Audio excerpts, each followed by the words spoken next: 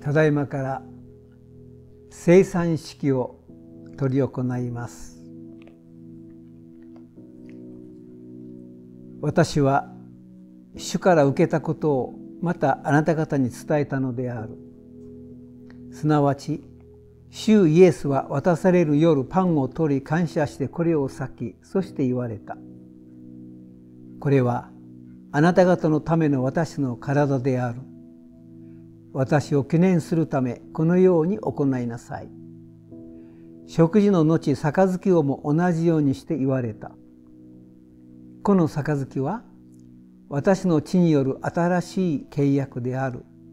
飲むたびに私の記念としてこのように行いなさい。だからあなた方はこのパンを食しこの杯を飲むごとにそれによって主が来られる時に至るまで主の死を告げ知らせるのである。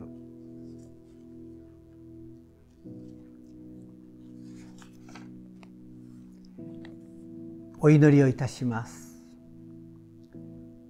天の父御子イエス・キリストの苦難と死復活と昇天と覚えこの聖霊天に称えられている大いなる恵みを感謝いたします。深き憐れみにより私たちの祈りを聞き御言葉と御霊とをもってこのパンとブドウ酒とを祝しこれを性別してください。救い主イエス・キリストの身胸に従ってこのパンと杯とを受け聖なる命に預からせてください。御子と御霊と共に支配される全能の父によよ限りなく栄光がありますように。アーメン。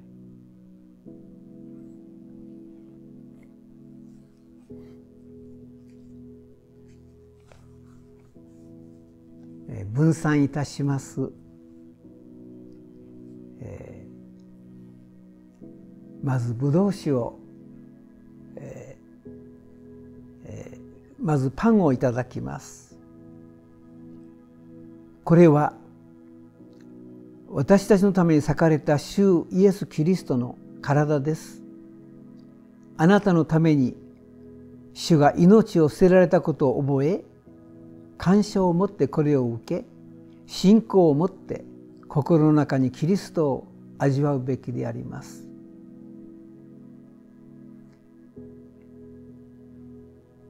パンをお取りください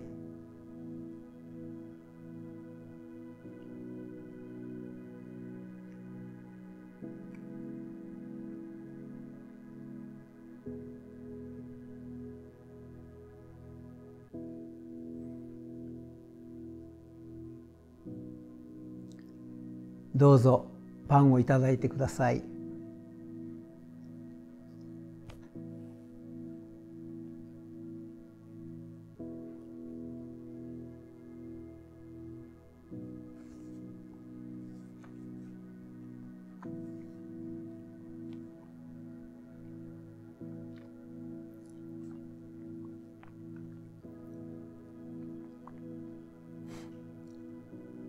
次にパンをお分けします。これは私たちのために流されたあブドウ酒をお分けします。これは私たちのために流された主イエス・キリストの血潮です。あなたのために主が血を流されたことを覚え感謝を持ってこれを受け信仰を持って心の内にキリストを味わうべきであります。ブドウ酒を踊りください。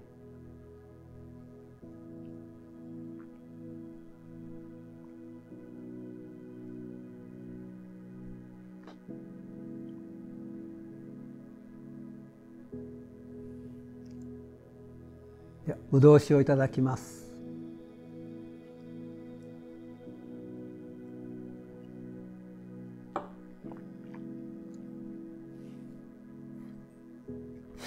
お祈りをいたします。慈愛の神あなたは限りなき憐れみを持って私たちを招き主の晩餐に預からせてくださいました。深く感謝いたします。あなたはこれによって御子イエス・キリストの贖いの恵みを私たちのうちに確かめ私たちの罪を許し汚れを清め常しえの命を与え御国の世継ぎとしての望みを固くしてくださいました。今聖霊の助けにより感謝を持ってこの体を生きた聖なる供え物として見舞いに捧げます。私たち主の体の枝である自覚がいよいよ深くなりますます励んで主に仕えることができますように。またキリストの復活の力を知りその苦しみに預かり折を得ても得なくても御言葉を述べ伝えることができますように。主よ常に恵みと祝福と私たちに満たしめ終わりの日までその平安のうちを歩ませてください。主イエス・キリストの皆によって祈ります。アーメン。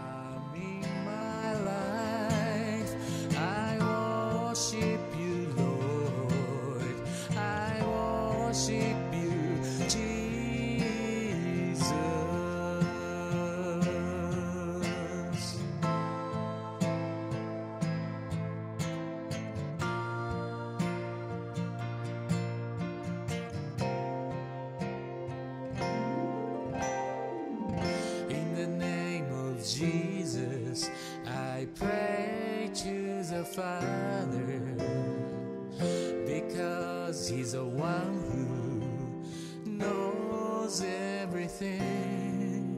My father, my father, I long to your presence. My father, my father, come down.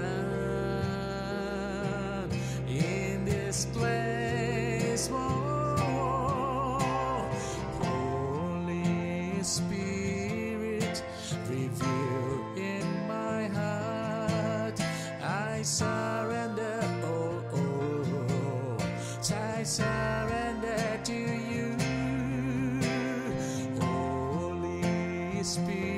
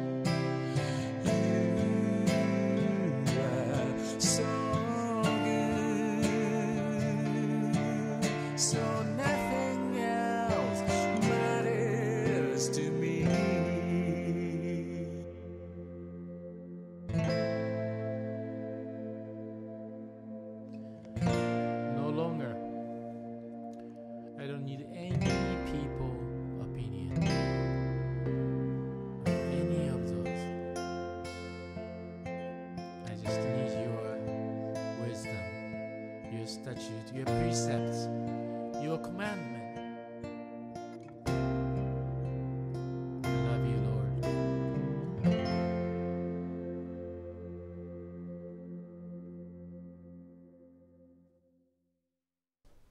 O はようございます一月十日二千二十一年、えー、皆様とまたご一緒に礼拝できることを嬉しく思います。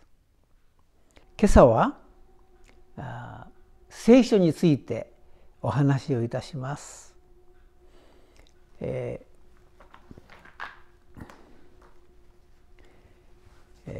これは私が愛用している聖書です。こんなに厚い本であります。聖書は完成するのに千年かかりました。紀元前1430年から紀元550年長い年月がかかって聖書は完成しました。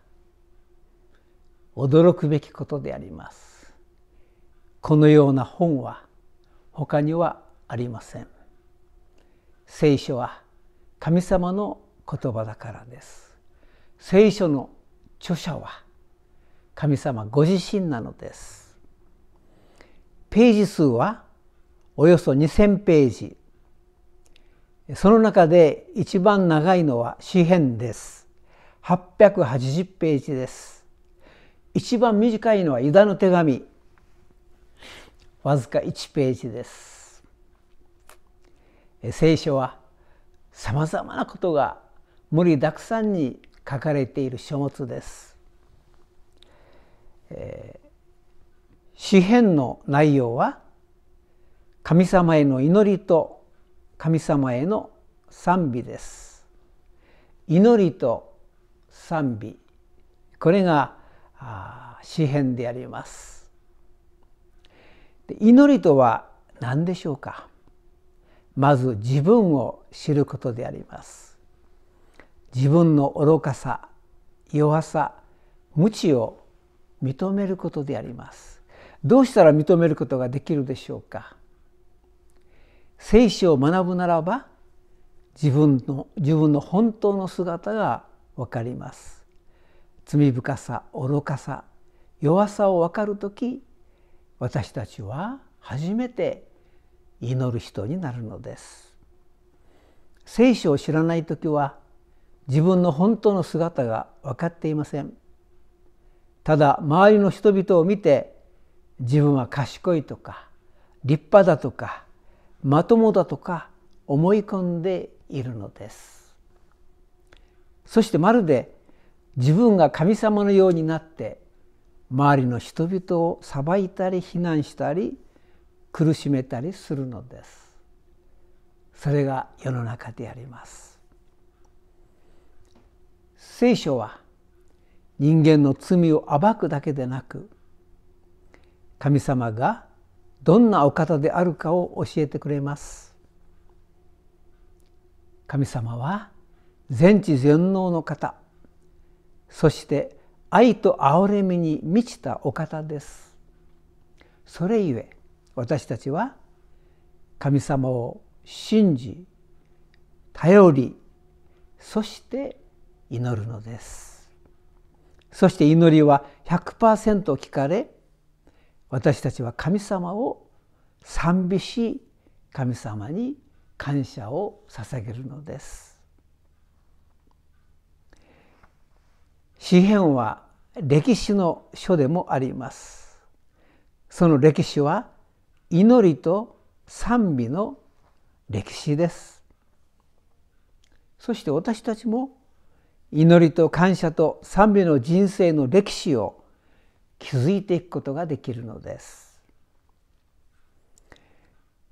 私は毎朝3時に起床し愛犬8と1時間散歩すると申し上げました。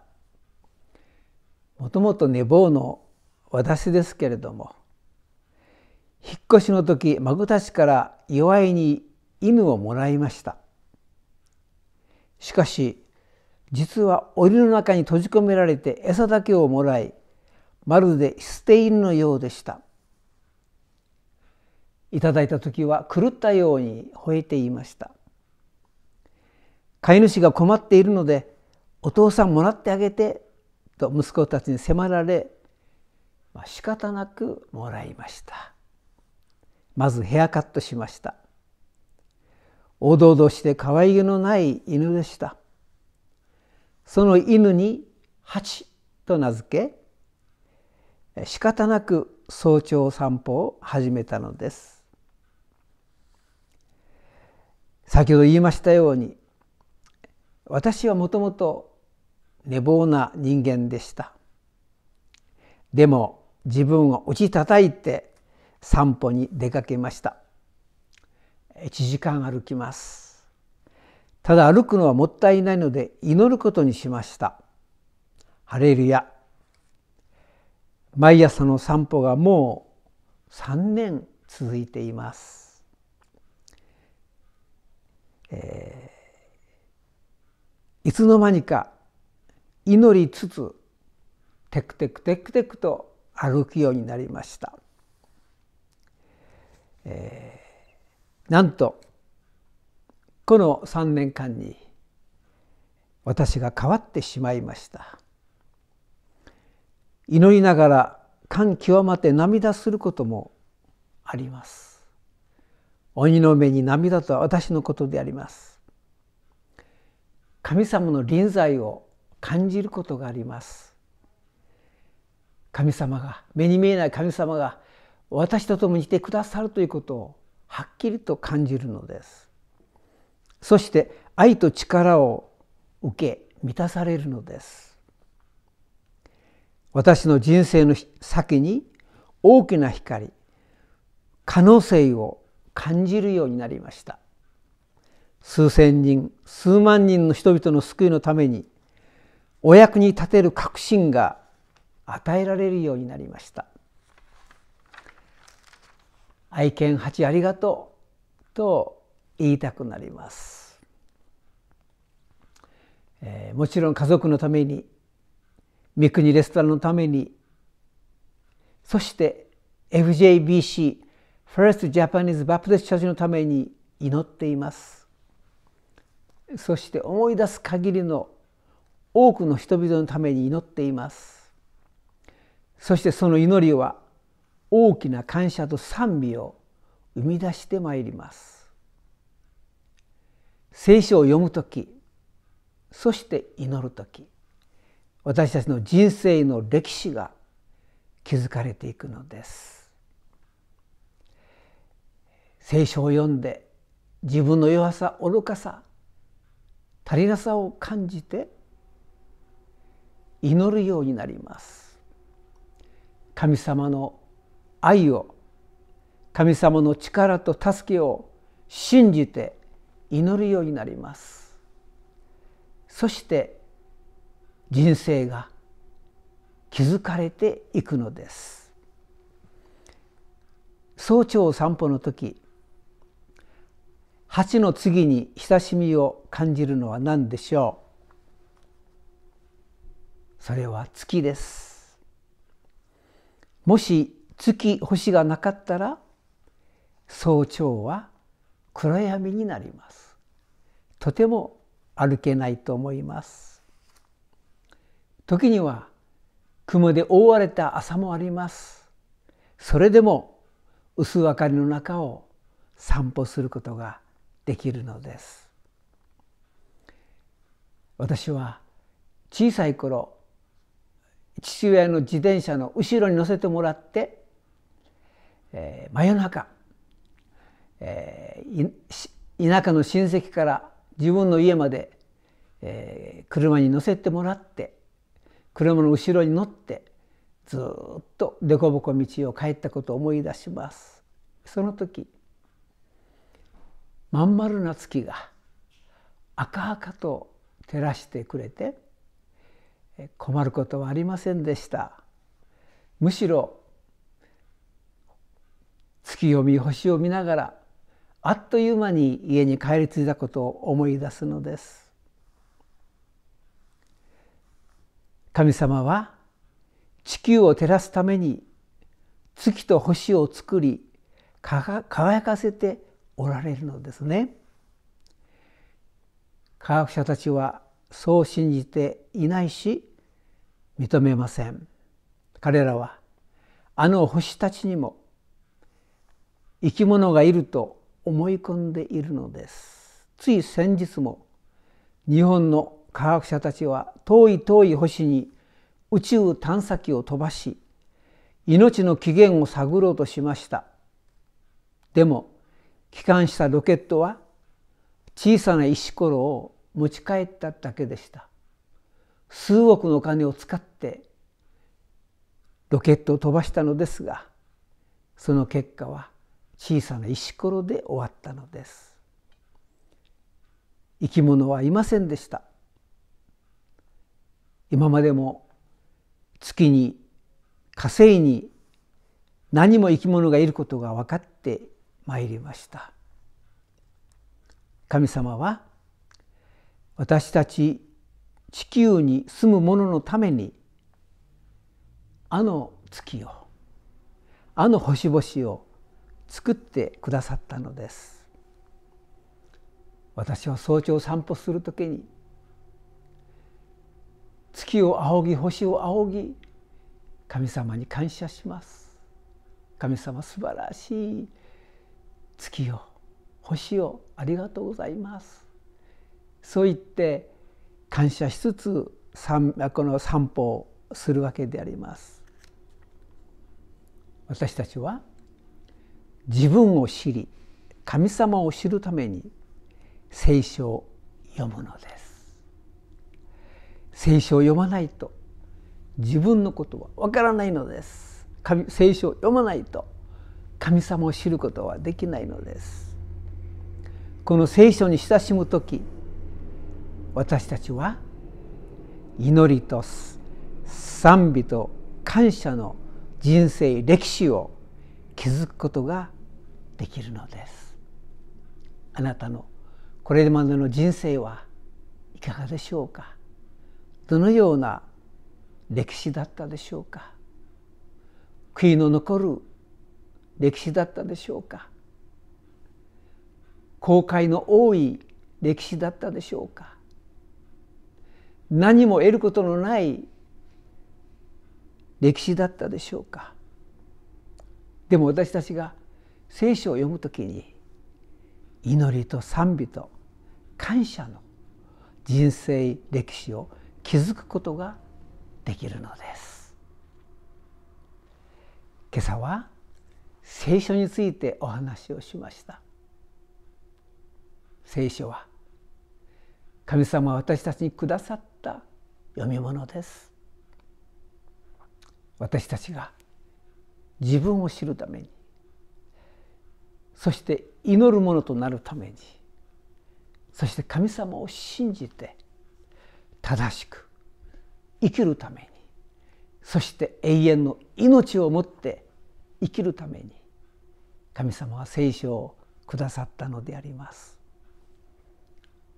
どうぞ聖書を買い求めてお読みください。あなたの人生が新しくなるのですそして自分を知り神様に祈るそういう人生の歴史が築かれていくのですその人生は記憶恵みにあふれそして永遠の天国へとつながっていくものなのです。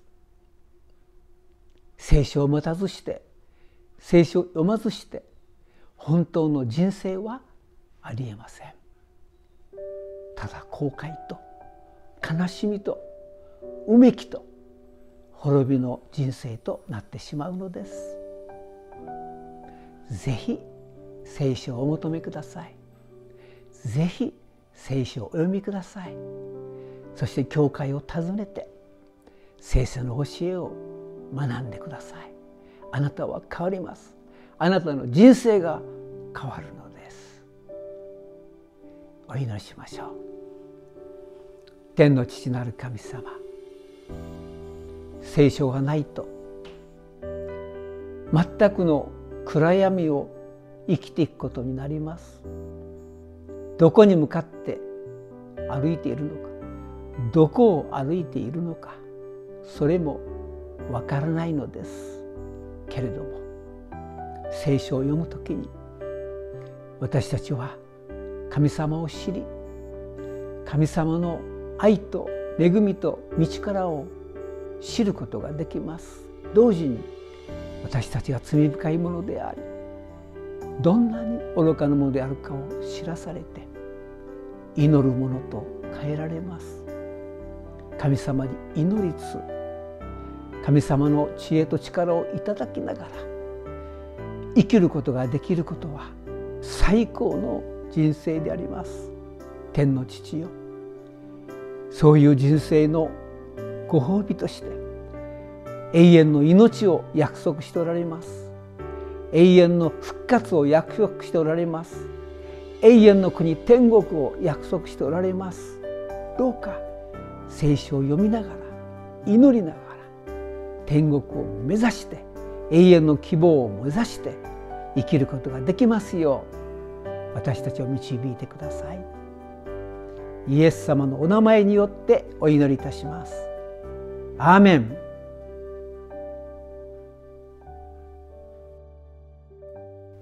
ただいま冬の真っ盛り。日本のニュースでは大雪と聞いています。もう日本のニュースばっかり見ていますけどいろんなことがありますね。大震災があったかと思えば台風大雨で洪水暑い夏そして今度は寒い雪の日。まあ日本の人は偉いと思います。それに適応しなきゃなれませんので、えー、大変と思います。お見舞い申し上げます。この1月のこの第2は、えー、1月までの誕生者を紹介しております、えー、それで、えー、ちょっとお一人お一人名前だけですけれどもご報告いたします。特にこの1月元旦の日に生まれた工藤誠司さんのことは忘れられない人ですね、えー、日本にもう帰られて3年になりますけれども日本の教会でもしっかりつながっておられます。で私たちの教会で2008年に洗礼を受けられて10年ほどこちらの教会に休みなく忠実に礼拝を守ってくださった方ですが、えー、日本のご両親のために帰られました。えー、それから私の子供2人も1月生まれですけども新井幸太郎さん坂田恵子さん、えー、渡辺宗樹君ですが、えー、秀樹さんと京子さんの息子さんですね、えー、ちょっと高校生だったか中学生だったかはっきり覚えていませんけれどももうすご素晴らしく背が伸びてお父さん追い抜いたかなっていうぐらいになられたんですね。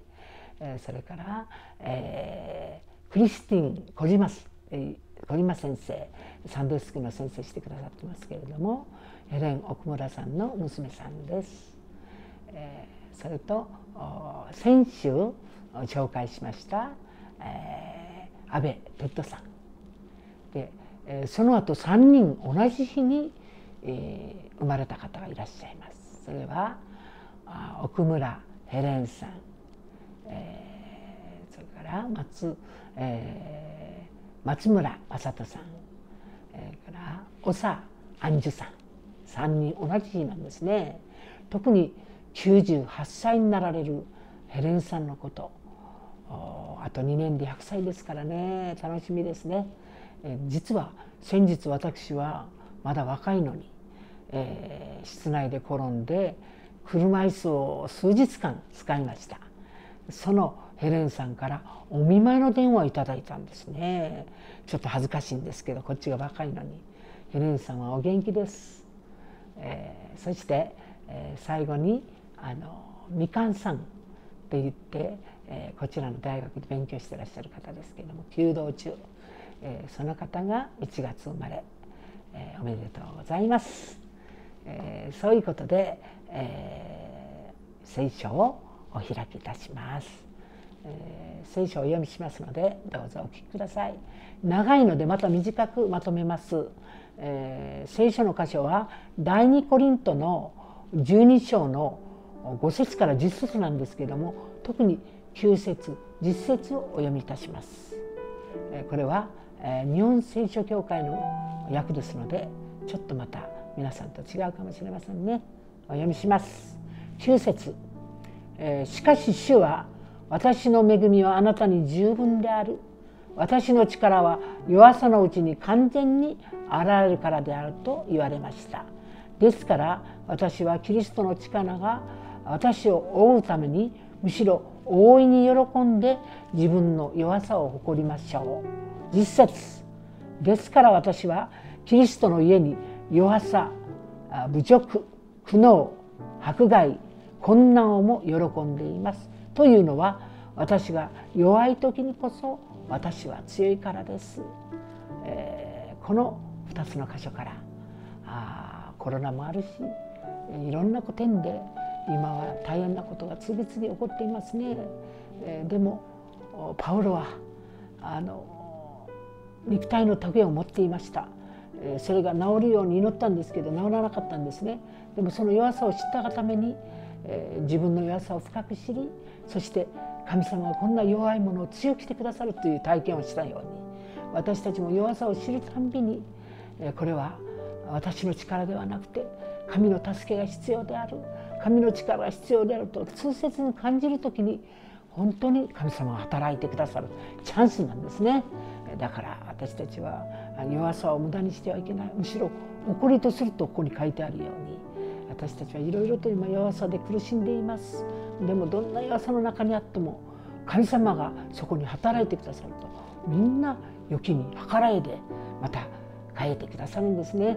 だから神に私たち期待しまた祈りを捧げたいものです。諦めないで祈る時に神様は奇跡を行ってくださるんですから皆さんもいろんなことを苦しみながら耐えながら生きておられると思いますけれども神様がどうぞそういう中にあって弱い時にこそ私は強いとおっしゃってくださったように弱さの中に神様の素晴らしい宮座があられることを期待しています。皆さんもっともっと信仰を働かせましょう。そして祈りましょう。聖書を読みましょう。以上です。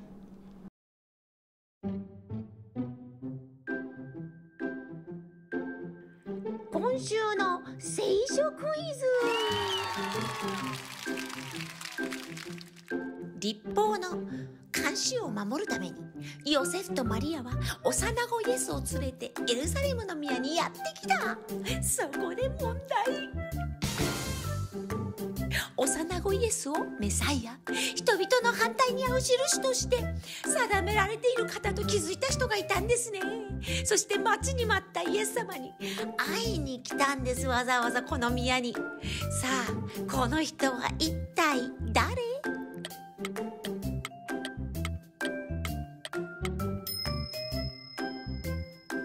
答えはシメオン。彼の名前はシメオンというんですね。ドアを閉めよなんてね。さようならまた来